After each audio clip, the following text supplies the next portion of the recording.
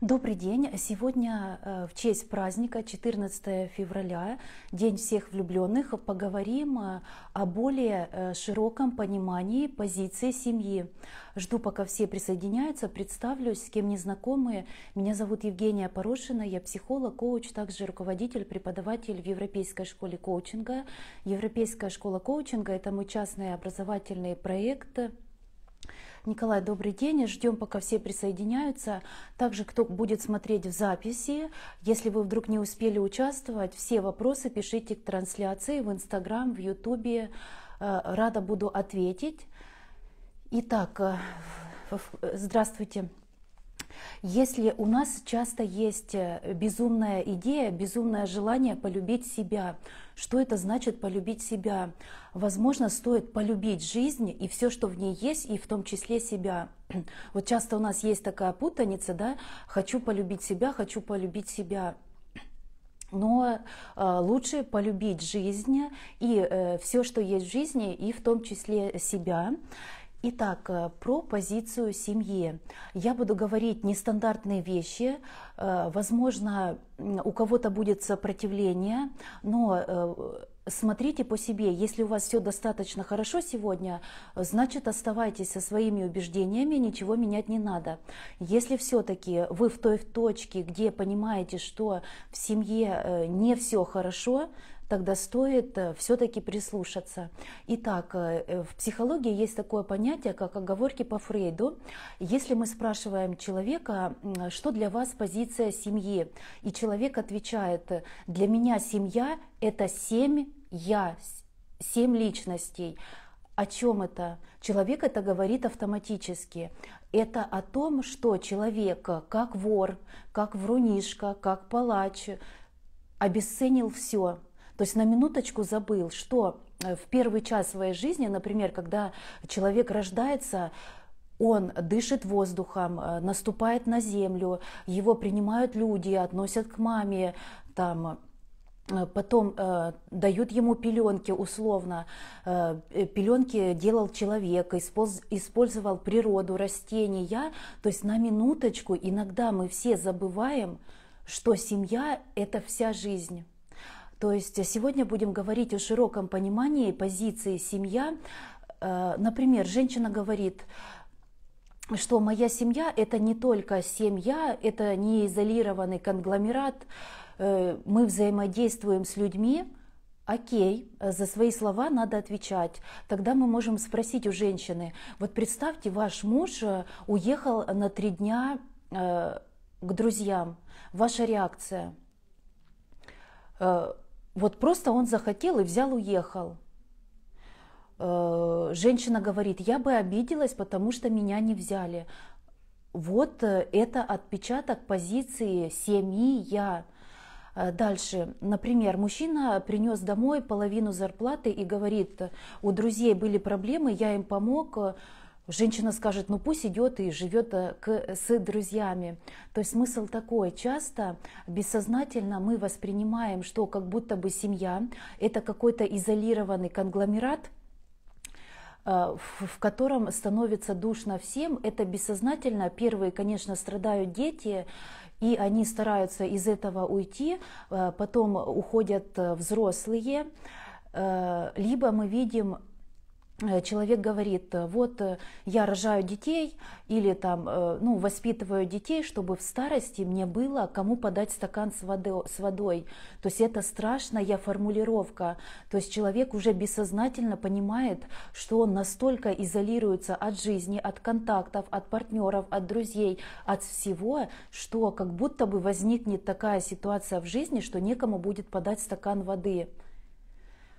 Вот, подумайте об этом, поразмышляйте. Если будет время и желание, можете взять домашнее задание в интернете, в ютубе, посмотрите, как растет семя. Вот семечко попадает э, в плодородную почву, и семя э, начинает пускать корни вниз, и вверх идет росток. Э, это красиво красивая картинка, я вот тоже смотрела, прям наглядно видно. Если мы берем библейские мифы, берем Библию, то в Библии сказано, что семья – это семя. а в семени изначально есть все для э, жизни, э, в этой жизни. То есть мы живем в природе. Есть такое слово, да, вот природа, природе, природе человеческом, природе там зверей, природе растений и так далее. То есть если глобально смотреть на позицию семьи, то э, э, позиция семьи – это вся жизнь, и в том числе и весь род человеческий, и не только. Дальше. Э, вот часто женщины и мужчины друг, друга, друг другу навешивают долги.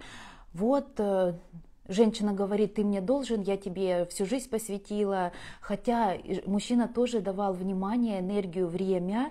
Э, по факту у нас есть только один долг, если мы берем супружество, есть один долг сохранить свой мир, свои взаимоотношения, свой мир. Это партнеры, друзья, работа, что-то еще. То есть сохранить свой мир и сохранить мир партнера. И тогда мы сможем образовать какой-то третий мир новый.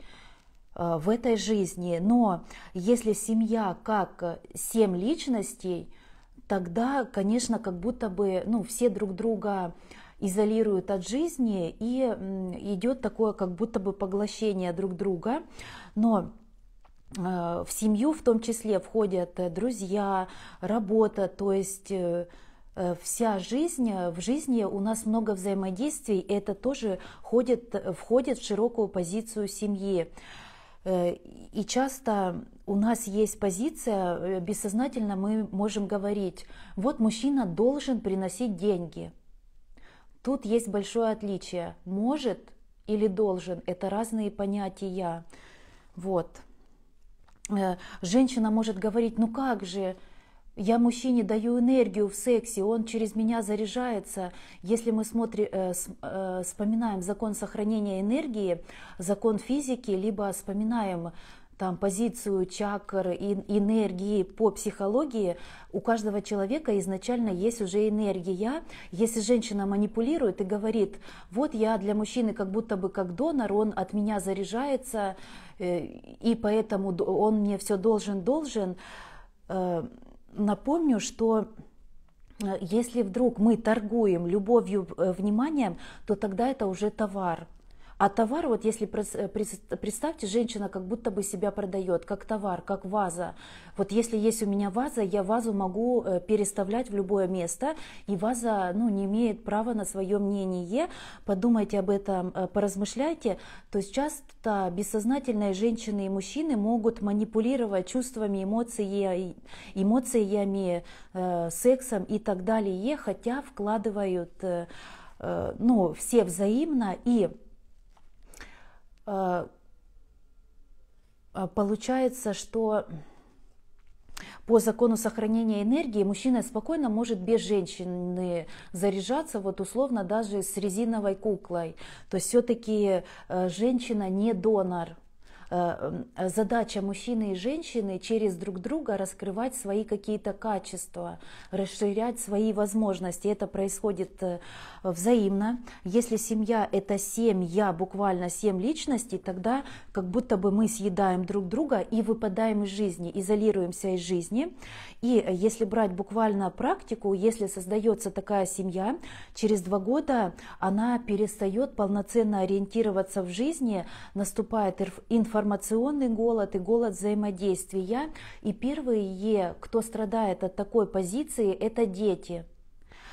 А, дальше взрослые, либо они расходятся, э, ну, еще до этапа, пока не сумели, э, ну, пока не появились дети, либо если они остаются вместе, но семья для них это семь личностей, которая как будто бы изолирована от жизни, если они остаются в этом конгломерате, тогда э, они могут жить с постоянными скандалами, можете посмотреть в жизни.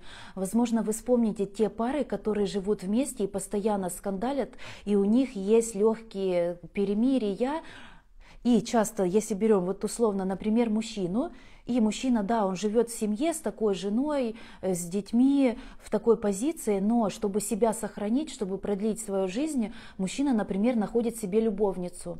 Потому что, например, э, любовница не потому, что она моложе, а потому что она взаимодействует с жизнью и не поглощает его. Вот, может такое быть. Э, если для нас бессознательно семья – это семя изолированных «я», как будто бы тогда мы изолируемся от жизненного пространства, минимально взаимодействуем. Да, конечно, мы полностью не выпадаем из жизни. Э, ну, иначе бы, ну, семья буквально она погибла. То есть э, такая семья минимально взаимодействует с жизнью. Даже если, э, например, женщина, мужчина вышли на пенсию, нет уже работы, они быстро состариваются, потому что у них нет социальных контактов. Тут даже дело не в движениях. Человек может ну, достаточно долго жить, если у него минимально ну, есть движение в жизни, но если человек минимально взаимодействует с этой жизнью, он как будто бы изолирован, тогда да, он быстро состаривается, если коротко. А, и часто у, таки, у таких семей, где э, семья это семь личностей, а, такая семья на 80% не исследует эту жизнь. И часто э, тема нарциссизма – это ключевая тема в работе психолога, где идет обесценивание жизни и всех возможностей, которые она э, нам дает. Тогда, если такая семья изолирована от всех возможностей в жизни, то можно сказать, что она выживает, а не живет. Можете посмотреть в жизни, если есть зацикленность на себе, а не на пространстве, идут проблемы, в, идут проблемы в работе, в деньгах. То есть э, надо посмотреть жизнь, чтобы вы увидели эти примеры. И часто мы как воры, э, как палачи, как врунишки все присваиваем себе, говорим «я, я, я», э, семья – это только семья, хотя когда мы рождаемся, мы на минуточку забыли, что дышали мы с помощью воздуха, и сегодня дышим, встаем мы на землю. Э, когда мы рождаемся, другие люди принимали участие, относили нас к маме. Э, то есть буквально все принима, вся жизнь принимала участие и принимает участие в нашей жизни, то есть с широкой точки зрения семья – это вся жизнь. И часто, конечно, есть зацикленность на себе. Если берем профессию психолог-коуч, психолог говорит, вот как я буду проводить трансляции или э, как, как я буду делать что-то, постоянно говорит я, я, я. Он не думает о клиентах, он не думает о людях, что он может дать, то есть забывает, зачем он приходит в профессию. Вот представьте врач, хороший врач стесняется как будто бы себя продвигать, это как? Насколько это хороший врач? То есть он э, он не думает о своих пациентах, а думает о себе. Я, я, я, буду стесняться, что-то еще. То есть на самом деле не совсем это хороший врач, если коротко. Так, Катя, вот Николай, кто в эфире, спасибо большое за поддержку. Кто будет записи смотреть, и кто не успел присутствовать, также пишите свои вопросы. Плюс сейчас я по теме эфира э, пройдусь, и у, у всех, кто еще присоединится, будет возможность задать мне вопросы, отвечу в эфире. И э, напоминаю, в следующее воскресенье в 13.00 я подготовлю для вас интересный эфир Поговорим о ключевую травму, которую надо проработать э, психологу и клиентам. Это ключевая травма, травма расставания. Критерий, э, что мы проработали травму расстояния, э, не расстояния, а расставания – когда мы в реальности видим, кто к нам хорошо относится, а кто плохо, и мы это не путаем, это значит э, позиция того, что мы проработали травму расставания. А часто и у психологов у нас тоже может быть эта путаница. Психологи пытаются цепляться за тех людей, которые их не выбирают. Это смысл в том, что ну, не проработали травму расставания. Понятно, это путь. Если брать программу школы, это формат групповой терапии, можно так проработать, либо любая личная работа с психологом помогает э, проработать травму расставания. Следующее воскресенье в 13.00 подробнее об этом поговорим. И напоминаю, э, частая тема в консультировании у психолога это идет зацикливание клиента на себе, когда он минимально, человек минимально взаимодействует с жизнью. Ну, понятно, человек живой, но он минимально взаимодействует с жизнью. То есть выживает, а не живет. И если он зациклен на себе, и э, такой человек, он в семье, то семья тоже минимально взаимодействует с жизнью. Если есть нарциссизм прямо у всей семьи, как можно понять даже по ребенку, какая позиция семьи, широкая или узкая? Э, дети буквально рисуют картинки. Если э, в, в семье позиция, что семья это семь личностей, тогда ребенок нарисует маму, папу, себя, все, и максимум дом, все, больше ребенок такой, он ничего не нарисует, а если э, для родителей, для семьи, семья это вся жизнь, тогда такой ребенок, он нарисует маму, папу, друзей, домик, э, там лес, деревья, цветы, солнышко, что-то еще. То есть такой ребенок, он э, почти, можно сказать, пустого места не оставит на этом листочке. То есть мы так можем это диагностировать. Вот, и, например, вот если женщина говорит, ну с чего вы взяли, что моя семья это какой-то изолированный конгломерат, мы же ходим на работу, мы взаимодействуем с жизнью, э, это все неправда, это вы придумали. Хорошо, мы можем спросить у женщины, вот представьте, ваш муж уехал с друзьями на три дня, просто захотел, ваша реакция. Женщина говорит, я обижусь. Хорошо, мы задаем второй вопрос. Вот представьте, мужчина приехал э, с рыбалки и домой пригласил троих своих друзей. Ваша реакция? Или представьте, мужчина пол зарплаты отдал друзьям. Ваша реакция? И женщина говорит, вот, конечно, как будто бы выгоню его из дома.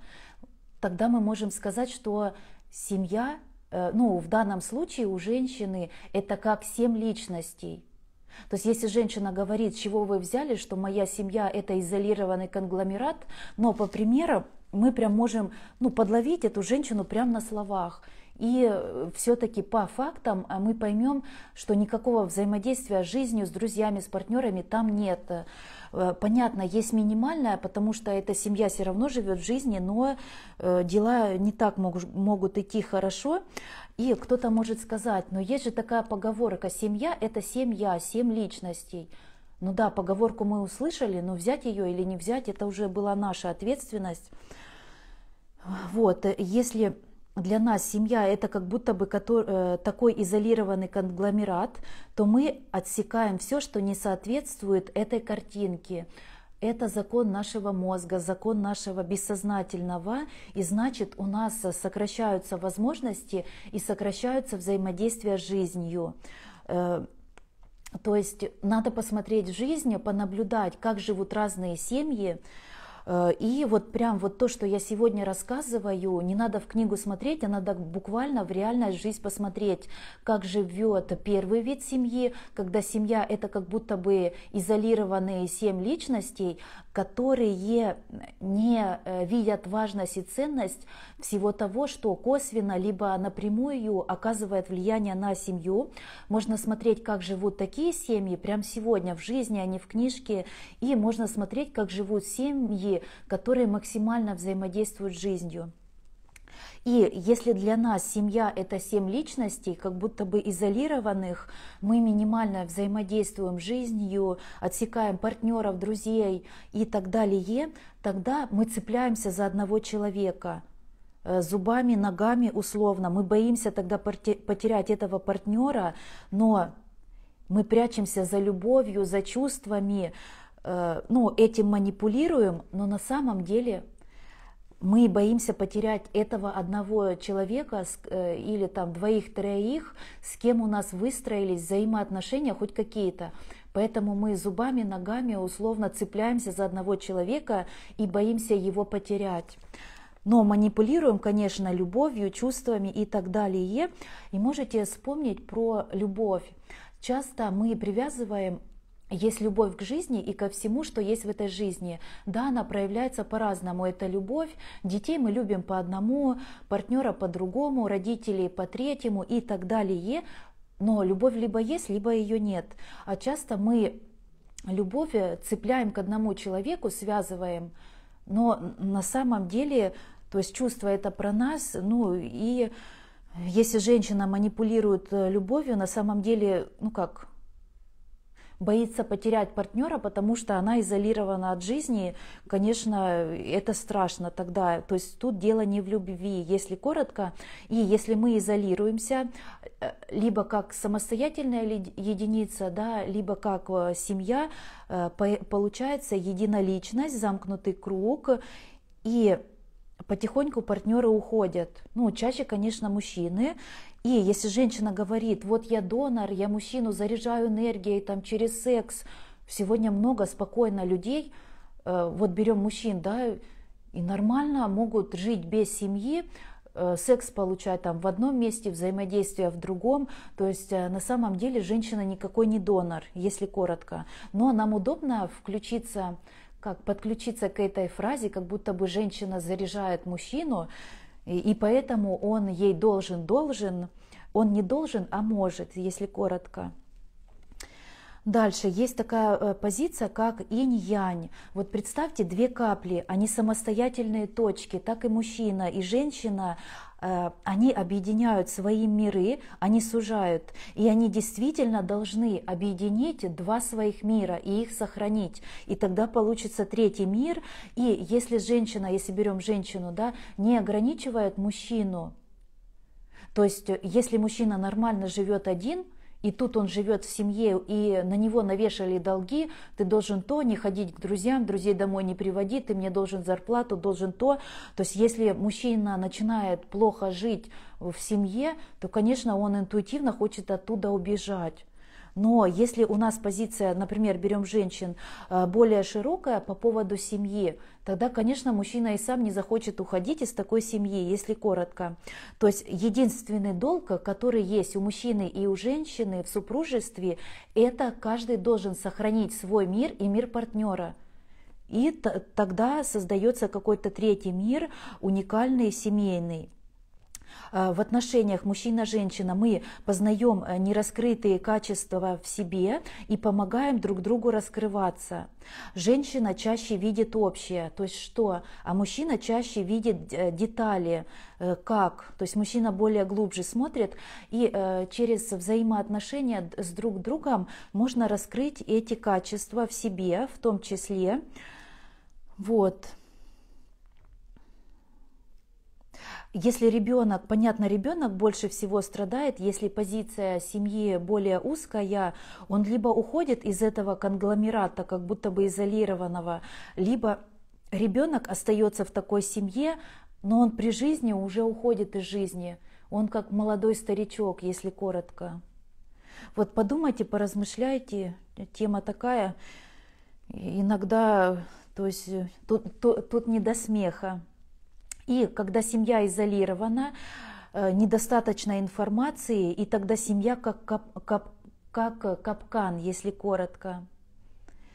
Вот. И это что становится нежизнеспособным конгломератом, то есть бессознательно отсекаются друзья, партнеры, обесценивается там работа и так далее. Вот э, и, конечно, есть последствия. Можно и так, и так жить в такой семье, и в такой, но будут последствия. То есть, если вспоминаем библейские мифы про сотворение мира, да, у нас есть свобода выбора, у нас есть способность творить. Мы можем и так выбрать, и так выбрать, э, как жить, в какой семье, но будут последствия э, Э, лучше смотреть на позицию семьи более широко, что семья это как семя, если мы вспоминаем Библию, а в семени есть все. Вот представьте, даже семя ребенка, вот мужчина, женщина э, занимаются любовью, да, э, произошло оплодотворение, и дальше идут естественные процессы. То есть э, и появляется человек через 9 месяцев. То есть там не надо, э, ну, как искусственно прилагать какие-то усилия, также и в жизни. Если семья – это как семя, которое живет в жизни, а жизнь – это как плодородная почва, это семя пускает корни буквально, ну, как вниз и вверх. Там, например, прорастает дерево, плоды, То есть буквально, если посмотрите видео, да, как прорастает любое семя, мы можем метафорически э, и также и семья – это как семя, которое в жизни прорастает. Дополнительно эту семью не надо поливать. Э, вот представьте в лесу деревья, там, растения, цветы – искусственно человек не поливает в деревья, деревья и так далее, там все естественно происходит, идет дождь, там когда-то снег, когда-то солнышко, и там все естественно растет. Так и в жизни, если семья как семя, конечно, э, ну, там ну, много естественных процессов, вот. Но если мы ограничиваем бессознательно и сводим семью до семи я, буквально есть последствия, мы минимально взаимодействуем с жизнью, и тогда можно сказать, мы выживаем, а не живем. Вот, коротко сказала, поделилась, сейчас буду, э, в школе будет отпуск, у меня с 22 февраля будут каникулы в школе, После каникул в школе продолжится обучение, э, девятая группа будет э, проходить обучение, останется 4 недели. Э, также супервизорская группа по субботам в 19.00 мы занимаемся. И новая группа, 11 поток, стартует с 15 марта. Вот начнем заниматься и для студентов школы, также для участников супервизорской группы буду подготавливать интересные мастер-классы в том числе более подробно подготовлю мастер-класс э, про семью. То есть я тоже постоянно повышаю квалификацию, э, узнаю что-то новое, интересное, и прям буду э, готовить закрытые мастер-классы.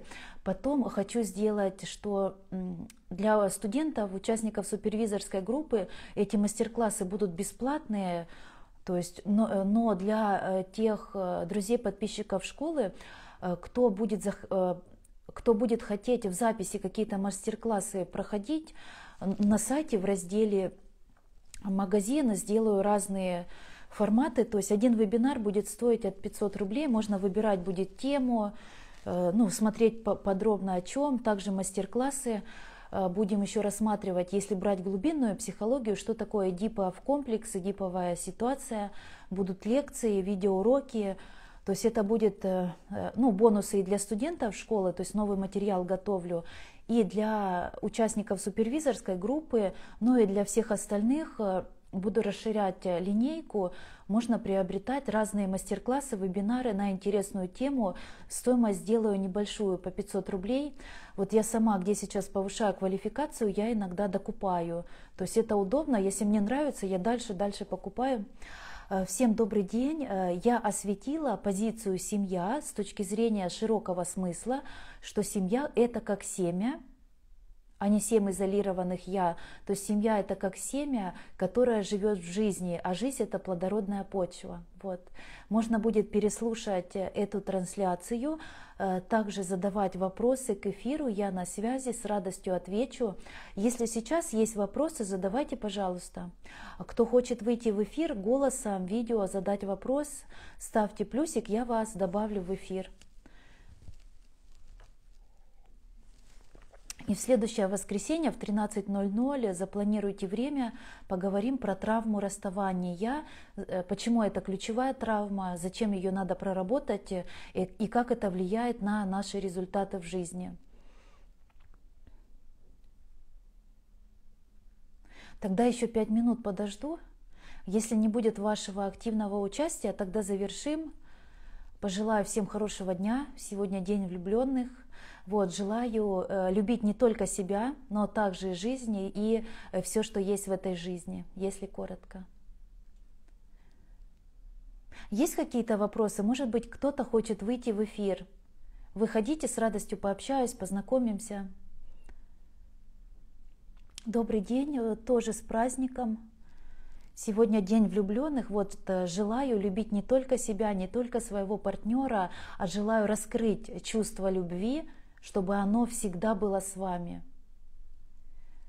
И вы его проявляли, и э, чтобы вы любили все, что есть в этой жизни. И в том числе себя и партнера, конечно.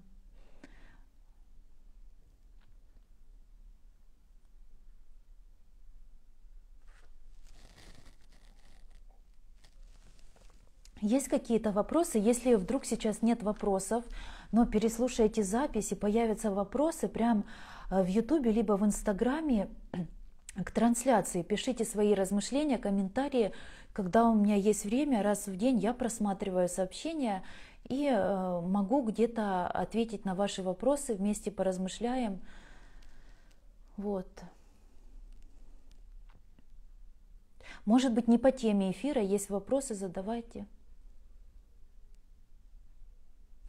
Так, сейчас посмотрю ну, более подробно, кто у нас в эфире.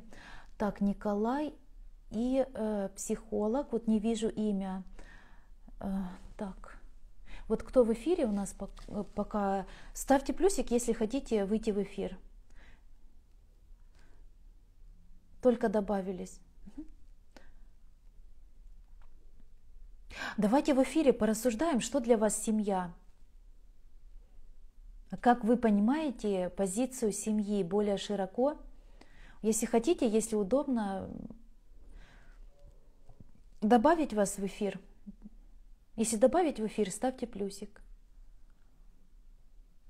Можем прямо здесь и сейчас поразмышлять, какие-то, может быть, бессознательные паттерны прямо здесь и сейчас можем вместе увидеть, но если хочется –